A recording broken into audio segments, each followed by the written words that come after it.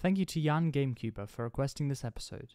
Welcome to Reform Review, the show that gets facts wrong about your favourite language reforms. I'm the Casual Conlanger, and in this episode, we'll be looking at Benjamin Franklin's phonetic alphabet, or BUFPA for short. That doesn't sound great, but I'll figure something out by the end of the video. Born in 1706, Benjamin Franklin was a founding father of the United States, a polymath, and most importantly for us, a spelling reformer. He proposed his phonetic alphabet in the mid 18th century as a global spelling reform for the English language, though some reform purists might argue that it isn't one in the truest sense. We'll see why in a moment. It predates the IPA by over a century and reveals several differences between 18th century and modern English pronunciation. First, graphemics. Franklin's alphabet removes six letters and adds six custom symbols, which goes beyond a small minority of reformers' definition of a spelling reform, but personally, I think it counts. Showing these added letters is a bit difficult in practice, as they're not supported by Unicode. Thankfully, though, there are a few documents on the Wikipedia page that we can use for reference. I'll have to use a few provisional ones that somewhat resemble them, namely Latin alpha, heng with hook, eta, and Armenian ini. Let's IPA the FPA and have a look at its phonology and orthography. The OA ligature stands for OR, upturned H called A represents A, ing for ng, eth for the, eth for th, and ish for sh. The last three all resemble the letter H, likely to symbolize the digraphs they replaced. Spelling is mostly phonemic, and we'll find out why in a minute. So, the consonants. The first thing to note is the lack of the wine whine merger in the reform, meaning words like which and whine were distinguished from which and wine by the pronunciation of WH, which would have roughly been hua for Benjamin Franklin. This sort of distinction is somewhat rare nowadays, but was relatively widespread in the 18th century, so its inclusion is unsurprising.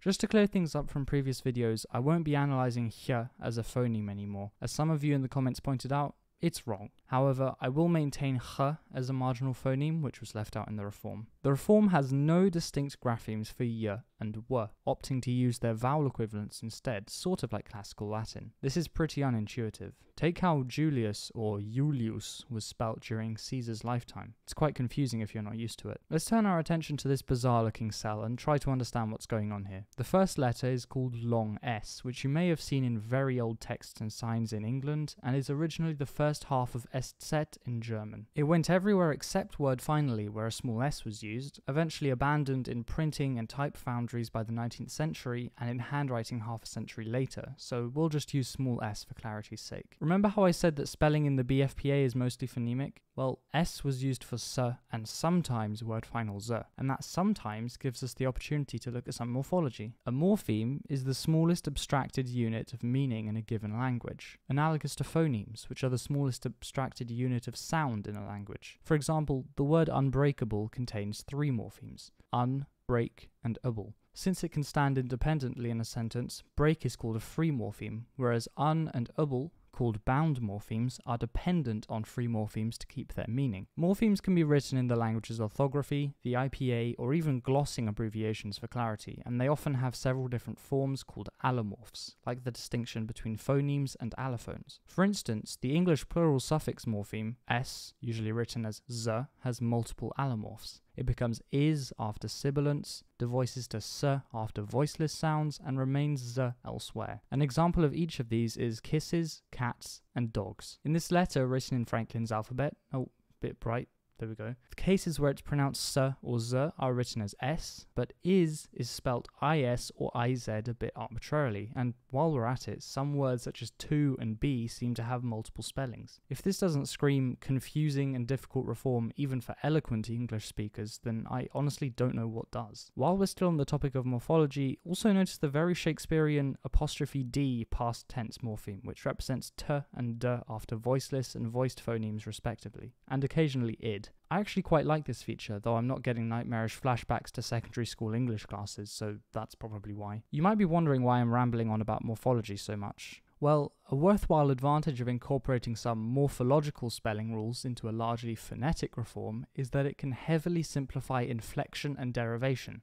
Okay, enough with morphology, back to orthography. Ish is used in all of these graphemes, which is a neat feature, but makes me question the choice of I for yod, since sh could have been written S-ish with yod as ish, although its name would probably need changing. Feels like a missed opportunity to improve internal consistency and maybe make the spelling a bit more intuitive. Alright, consonants done. Let's move on to vowels now. This table is messy, and for good reason. The few examples of Franklin's alphabet are all rather inconsistent spelling wise, and different sources have made varying analyses of the orthography, so I bundled them all up in one and, well, it's clear that Franklin didn't spend much time on the vowels when creating the reform. Above all, it's vague. With one or more phoneme assigned to each grapheme, these choices complicate the vowels just as much as they simplify them. It doesn't get much better with the diphthongs. Given how old the reform is, I can cut some of Ben's decisions some slack. For instance, the choice of EE for A, which was probably pronounced more like E or air in the 18th century, but that's just about the only positive thing I can say about the diphthongs. They're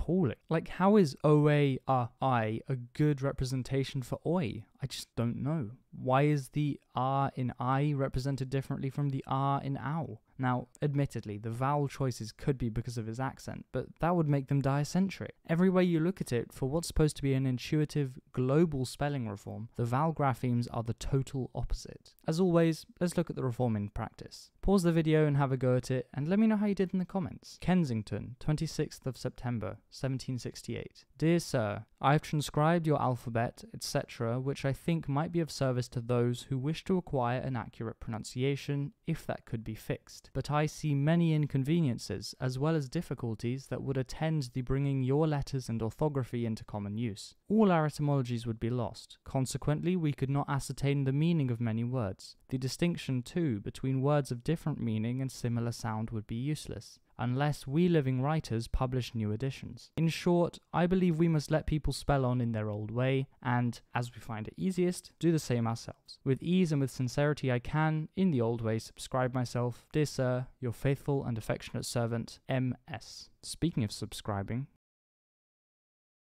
Actually, never mind. Only 11 of the 112 words remained untouched by the reform, and some of those were just the inconsistencies we already mentioned. Implementing this reform would require completely relearning the spellings of over 90% of English words. It certainly would have had a better chance in the Age of Enlightenment than it would today, but would have required far more backing than it received. Benj's alphabet is a bit of a mixed bag for me. It does have some good ideas, the mostly phonetic orthography, the addition of letters to tackle some of English's defective spelling, and we can't forget that it's the only a priori spelling reform so far to have addressed morphology. Nevertheless, the illogical vowel grapheme choices, the inconsistent spelling, and the sheer amount of relearning required to use this reform are simply too problematic to ignore. I guess the too long didn't read of this review is Benjamin Franklin was probably better at founding America than he was at reforming English spelling. But hey, that's not so bad. All in all, I like Benjamin Franklin's phonetic alphabet more than I like parallel English, but less than I like cut spelling, making it my third favourite global language reform so far. Thanks for watching, and I'll see you next time, where I'll be reviewing